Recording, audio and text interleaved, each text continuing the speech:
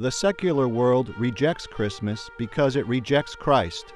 For example, at Robious Middle School in Virginia, all Christmas carols that mention the name of Jesus Christ were banned in order to show more sensitivity.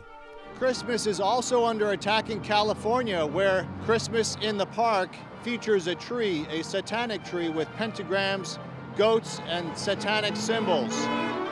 The true American spirit comes out in response to this campaign for Christmas.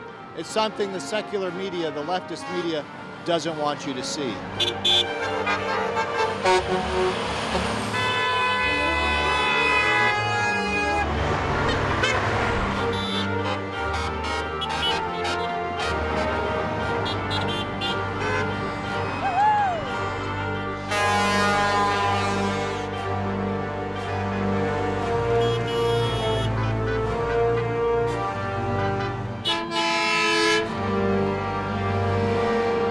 Say happy holiday.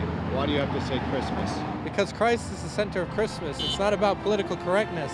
It's Christ. Christmas is about the birth of Christ. Please don't say happy holidays. Merry Christmas. If you want peace on earth, keep Christ in Christmas.